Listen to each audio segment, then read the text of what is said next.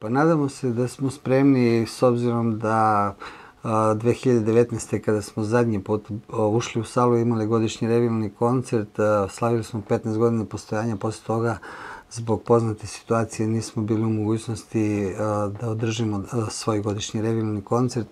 Ovo je 18. po redu, da kažemo, slavimo puno letstvo. Nadamo se da nismo izgubili taj kontinuitet u radu, zato što smo učestvovali na nekim manifestacijama otvorenog tipa ili gostovali smo na televizijama sa nacionalnim frekvencijama, ali godišnji revilni koncert, kažemo, opet tri godine nismo držali.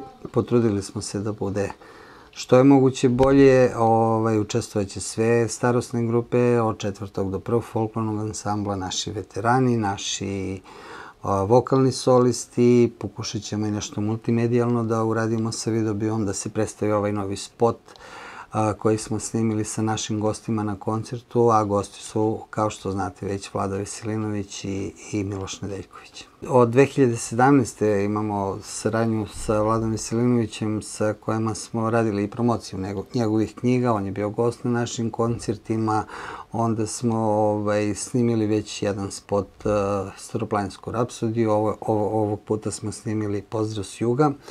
Ovaj, mislim, oni će biti u, u dva bloka sa po dve numere, to su autorske kompozicije Vlade Veselinovića, a po prvi put će to biti ne u pratnji gitare ili drugih instrumenta, nego baš ovaj bubanj ili goč, kako ga mi zovemo.